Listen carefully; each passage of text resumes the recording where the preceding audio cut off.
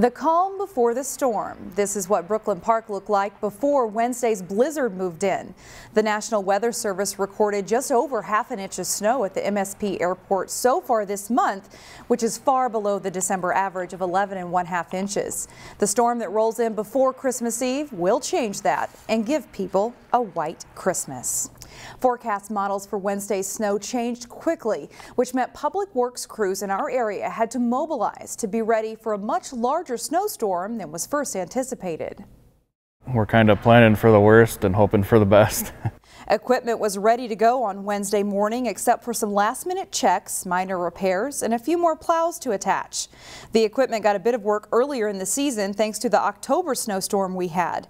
Crews met to go over the plan Wednesday morning, which was to keep crews working during the rain, ice, and then snow so the roads don't become complete blocks of ice. Well, our plan is to, to get on it early and, and stay on it.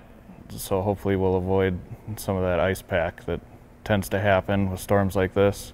That said, Crystal Public Works says expect progress to be slow and road conditions to be poor. Once conditions drop below 15 degrees, which is forecasted, salt will not be effective, so roads will be in tough shape. Stay off the roads if possible and remember the snow emergency rules for your city. Find more local news stories at ccxmedia.org and follow us on social media.